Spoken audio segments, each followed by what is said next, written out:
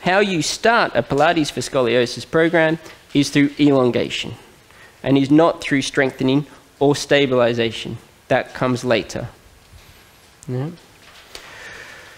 So we start a lot of our sessions, or I start a lot of my sessions in clinic, getting my clients to do a form of elongation.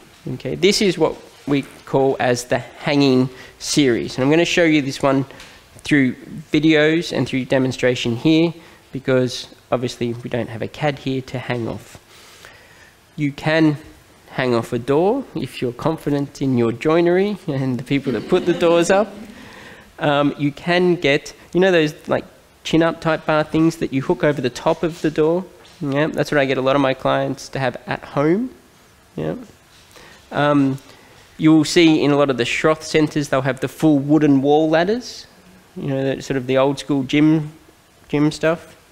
All right, the CAD works brilliantly. Okay, so you take your box from the reformer. Anyone here have equipment in their studios? A few of you? Yep.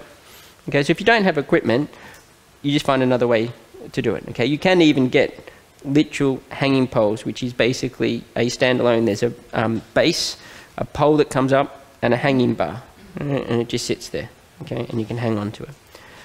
I am going to show you four or five other ways to do elongation. So you don't have to do it this way. I'm just saying this is one, one option. It's an option I use quite a lot.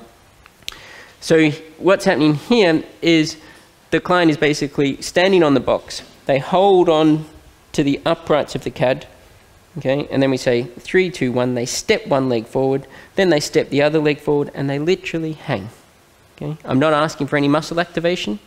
I'm not asking them to do anything apart from just hang to try and get a lengthening very similar to the traction that we saw on that table. Yeah. Now, this isn't for everyone. So, for example, those hypermobile kids I spoke about earlier, this isn't for them because they're going to go and traction their shoulders, which isn't what I'm after. I want the spine to be tractioned, yeah? Which is why we have lots of other options for you to look at. Yeah?